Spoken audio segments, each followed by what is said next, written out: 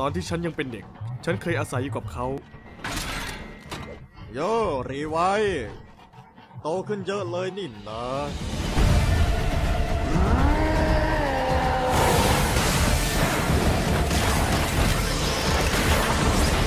ตอนนี้คริสตาคนเดิมที่เป็นผู้ดีได้ตายไปแล้ว ที่สำคัญกว่าคือการได้ครอบครองพลังและความสามารถ แล้วเราจะช้าไม่ได้